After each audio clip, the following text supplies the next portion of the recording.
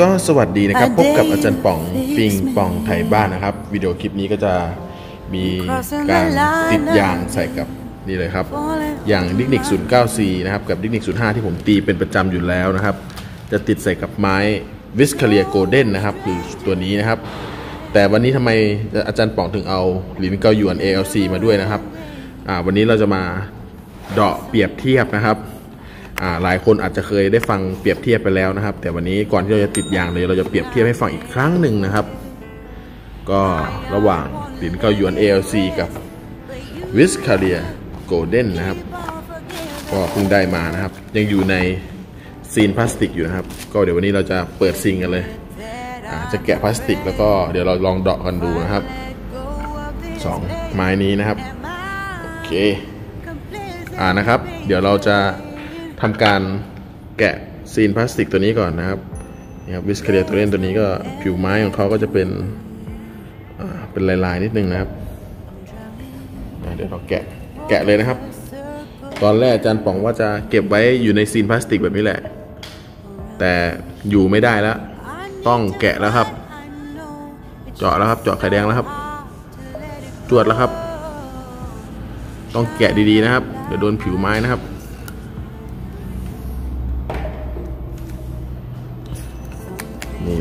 แกะมาเปิดซิงกัน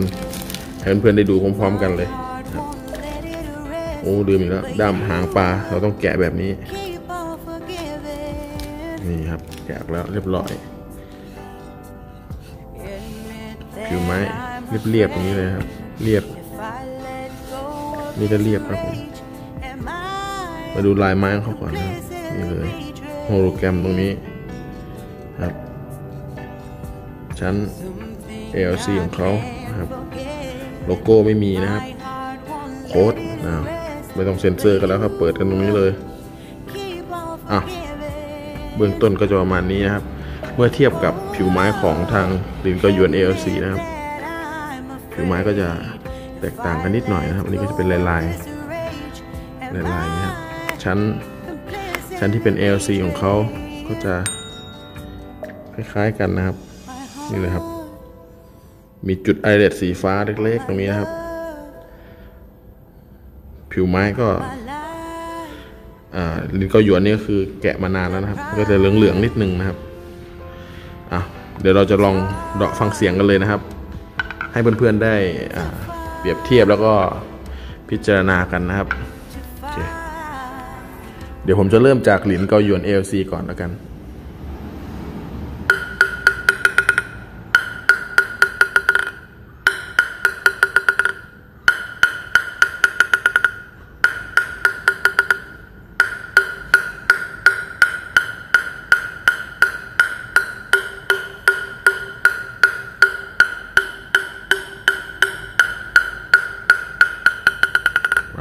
มาวิสเทเรโกเด้นครับ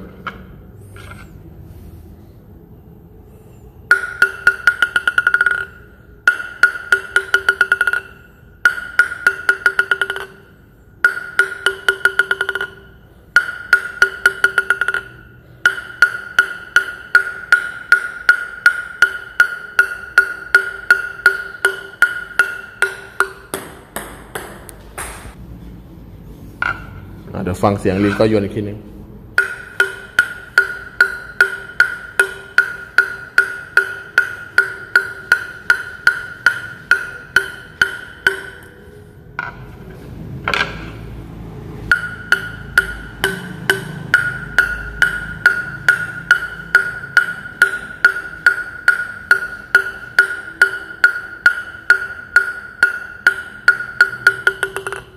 โอเคนะครับ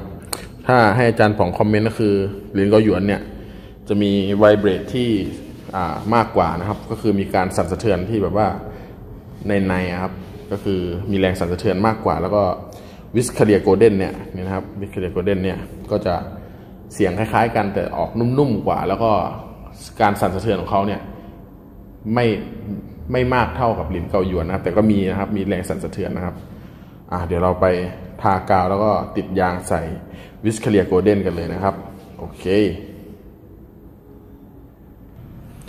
โอเคนะครับ เดี๋ยวอันดับแรกเรามาทาที่ไม้ก่อนไหมอะก่อนที่จะตัดยางแล้วก็ไปทาที่ไม้ก่อนเลย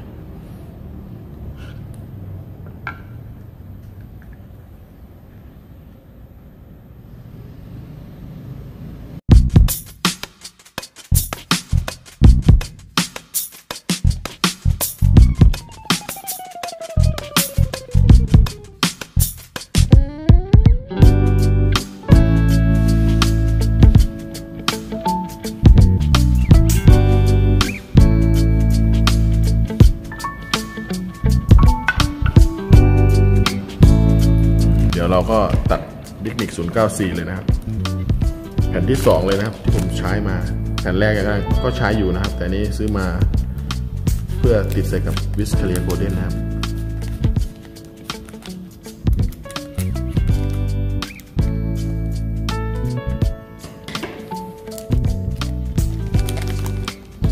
อันนี้ผมเคยพูดเรื่องรหัสของเขาไปแล้วนะครับ อันนี้เป็น AU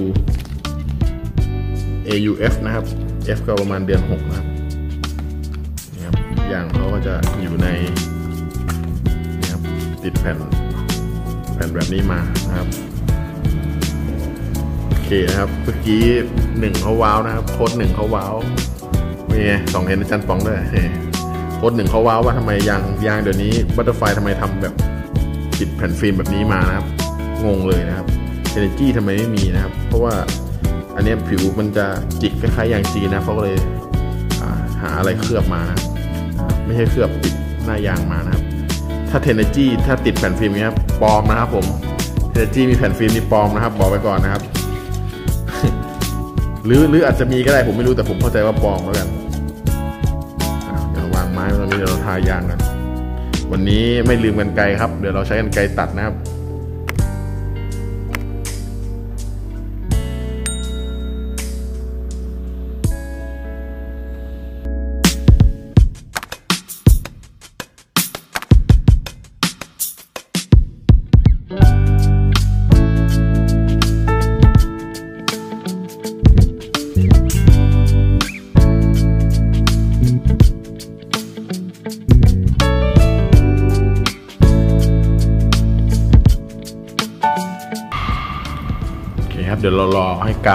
สักหน่อยนะครับ ระหว่างรอกาวแห้งเราก็เดี๋ยวเราทา 05 ไปด้วยเลยดิกนิก05 ไปด้วยเลย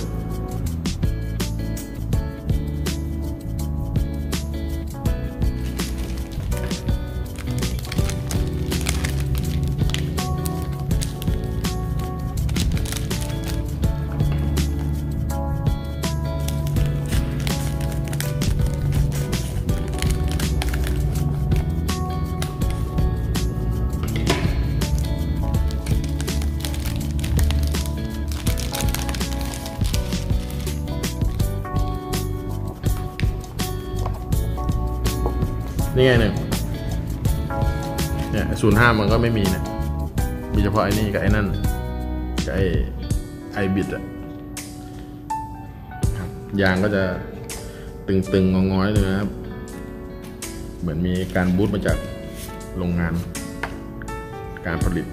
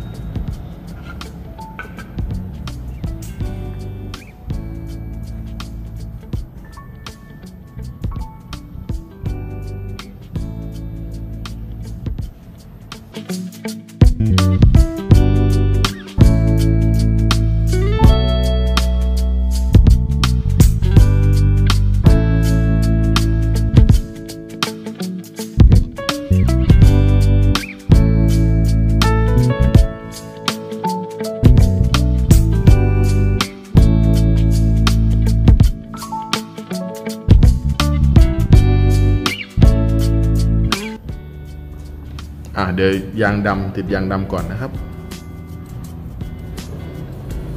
นี่ดูยางอันนี้มันงอจอกมากเลยนะ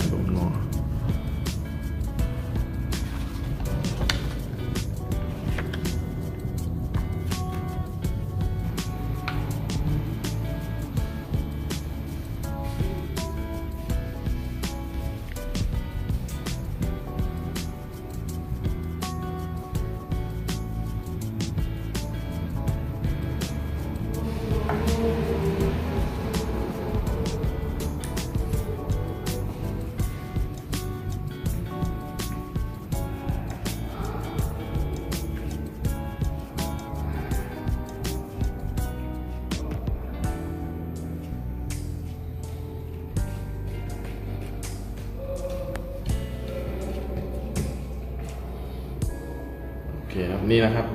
ถ้าเป็น 09C จะมีแผ่นพลาสติกปิดหน้ายางนะครับ ถ้าเพื่อนๆใช้คัตเตอร์หรือกรรไกรนะครับ แนะนำว่าให้ดึงพลาสติกออกก่อน เดี๋ยวกรรไกรมันจะหนีบไม่คมหรือคัตเตอร์จะตัดไม่สุดนะครับ อันนี้ความคิดเห็นส่วนตัวนะครับ แต่รอบที่แล้ว ผมให้มอสตัดให้ก็ดาบเดียวชึบขาดเลยนะครับเดี๋ยวผมจะใช้กรรไกรตัดขออนุญาตดึงแผ่นฟิล์มออกแบบนี้ก่อนแผ่นฟิล์มสามารถใช้ได้อีกนะครับ เพราะว่าเป็นผิวกาวอย่างนี้ หรือเปล่า เดาเดาจำไม่ได้ น่าจะใช่ น่าจะใช้ได้อยู่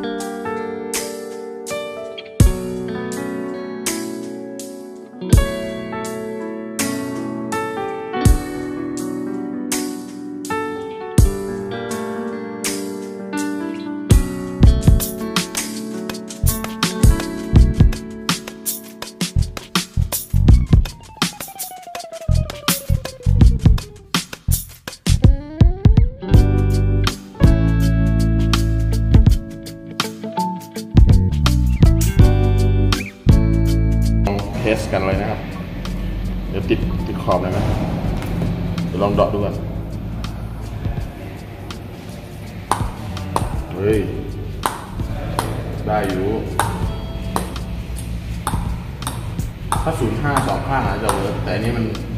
มันยางกินไงมันเลยเป็นจุดๆไงโอ้ดีงานนี้ไม่รู้ใครจะติดใจอะไรกันแน่ลองหลายใจ หลายใจแค่เรื่องปิงปองนี่แหละเอาหนึ่งลองดอกเดี๋ยวให้หนึ่งลองดอก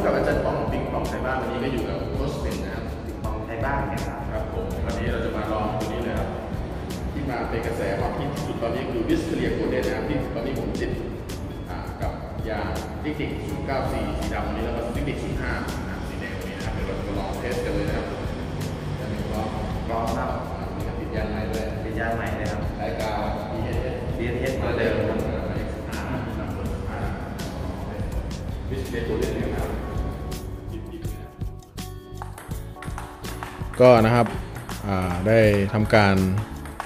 ลองวิสเค l ียโกลเด้นแล้วนะครับ ถ้าเปรียบเทียบกับหลินเกาหยวนที่เราลองเดาะดูแล้วครับ แล้วผมก็ได้ลองติดยางของ Dignics ศูนย์เก้า C กับ Dignics ศูนย์ห้าใส่หลินเกาหยวนแล้วก็ลองเดาะเดาะแล้วก็ลองตีดูนะครับข้อแตกต่างนะครับระหว่างหลินเกาหยวนเนี่ยกับวิสเค l ียโกลเด้นเนี่ยนะครับ คือเขา เขาจะออกแนว control มากเลยนะครับ Viscaria Golden เนี่ย control มากนะครับ ให้สัมผัสลูกที่ติดดีมากเลยนะครับ คือ พูดว่าไงเดียมีความนุ่มแล้วก็สามารถเสริมความแรงได้ด้วยนะครับ แต่ถามว่าไม้มีความเด้งมากกว่าหลินเกาหยวนไหมนะครับความเด้งเนี่ยไม่เท่านะครับ ไม่เท่าหลินเกาหยวนนะครับวิสคาเรียโกลเด้นเนี่ยก็เป็นไม้ที่แบบกลางๆนะครับ มันไม่ได้แบบเด้งหรือหวาอะไร ฟีลลิ่งที่แบบนุ่มรวมถึงไวเบรของเขาการสั่นของเขาเนี่ยมันเหมาะสมนะครับ โอเคถูกใจ ไม่ได้ไม่ได้ว่าปลอบใจตัวเองนะมันกลางๆเดี๋ยวเดี๋ยวให้หนึ่งลอง เพราะว่าหนึ่งลองตัวผีมาแล้วอันนั้นคือเด้งจ๋าเลยแบบแบบแปลกใจเลยนะอันนี้ก็มัน feel กลางอะกลางแบบว่าธรรมชาติ neutral อ่าอยู่ตรงกลางเมื่อไรทางไหน ก็เป็น feel ไม้ที่แบบว่าให้สัมผัส feeling นะครับ ความสั่นของเขาเนี่ย ก็เหมาะมือมากเลยครับอ่าอีกอย่างหนึ่งข้อแตกต่างระหว่าง Viscaria Golden Viscaria Golden แล้วก็หลินเกาหยวน ALC นี่นะครับก็คือเรื่องของด้ามไม้นะครับ ด้ามไม้ของหลินเกาหยวนเนี่ยจะมีความอ้วนมากกว่านะครับ แต่ไม่กว้างนะครับแบบอ้วนๆนะครับความความกว้างนี่จะเท่ากันกับ Viscaria Golden นะครับ แต่ว่าอ่า ก็ได้ได้อย่างเสียอย่างนะครับ ถ้าด้ามแบบแบบถ้าพูดง่ายๆคือ Viscaria เนี่ยด้ามแบนกว่านะครับ แต่ก็มีให้ความคล่องตัวในการปรับจุดลงเปลี่ยนจุดจุดตีอะไรอย่างเงี้ยได้คล่องตัวกว่า จะปรับ backhand forehand คือหรือพูดง่ายๆคือสวิชหน้าไม้เนี่ยนะครับสวิชซ้ายขวาเนี่ยเปลี่ยน backhand forehand เนี่ยจะคล่องตัวกว่านะครับ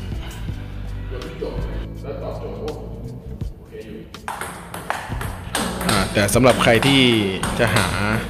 ไม้ Viscaria Golden มาเพื่อที่จะเอา power จากเขานะครับ ก็อาจจะยังไม่ตอบโจทย์ให้กับคนที่ต้องการความแรงเท่าไหร่นะครับ พูดง่ายๆคือให้ control มากเลยนะครับ คือสัมผัส feeling เนี่ย หน้าไม้กับหน้ายางเนี่ย จับลูกได้นานมากเลยนะครับ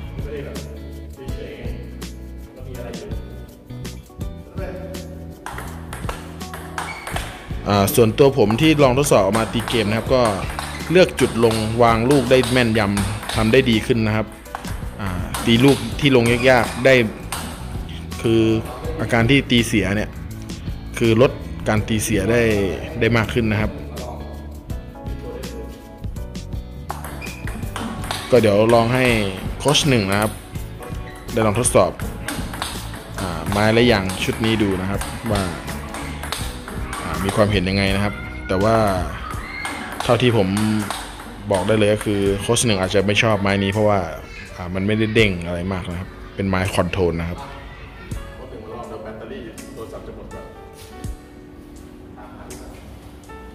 โอ้เอาครับใช้ได้อยู่นะครับวิสเคเลียโกลเด้น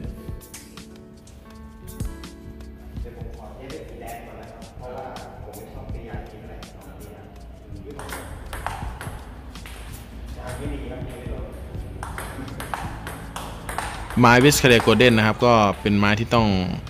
อสั่งซื้อจากประเทศจีนเลยนะครับ เพราะว่าในประเทศไทยเนี่ยไม่ไม่ได้มีจำหน่ายนะครับ หรือ Butterfly Thailand เนี่ยไม่ได้มีนะครับ ต้องหาคนที่แบบว่าเจาะประเด็นไม่ใช่เจาะประเด็น เจาะหาร้านที่จะต้องไปซื้อเนี่ยนะครับ ก็ต้อง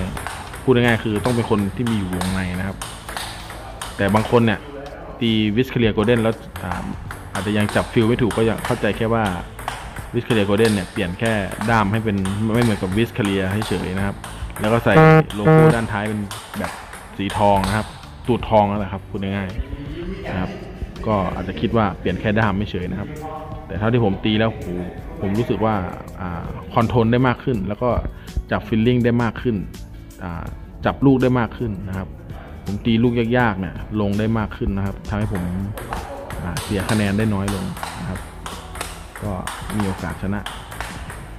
เพิ่มขึ้นนะครับแต่ความแรง อาจจะไม่เท่าซุปจุนซุปจางนะครับ ก็ยังไงก็ เป็นทางเลือกให้เพื่อนๆได้เป็นทางเลือกให้สำหรับเพื่อนๆที่จะได้ลองไม้ใหม่ตัวนี้ดูนะครับ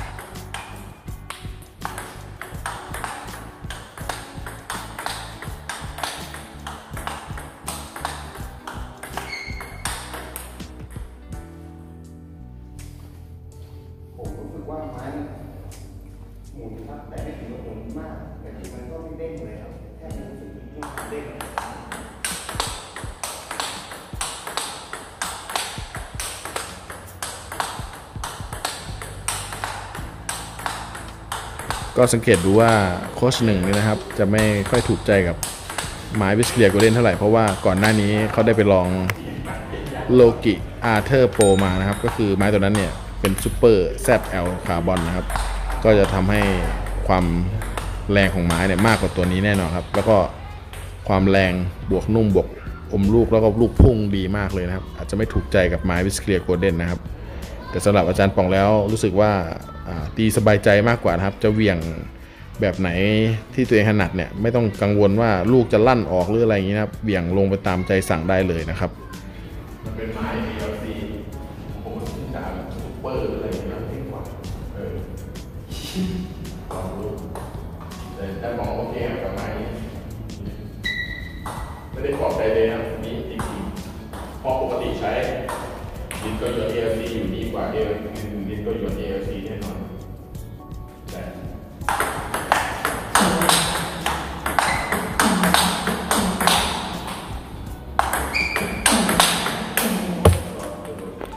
ก็สังเกตดูการ topspin forehand ของผมนะครับ ก็จะให้การ control อมลูกนะครับ แล้วก็ให้ความหมุนของลูกเนี่ยมากกว่าปกติที่เคยตีนะครับ สังเกตการบล็อกของโค้ชหนึ่งนะครับจะบล็อกออกนะเป็นลูก spin ออกอย่างนี้สังเกตดูนะครับเอาลูกหนึ่งลูกสองลูกสามก็อาจจะออกแล้วนะครับ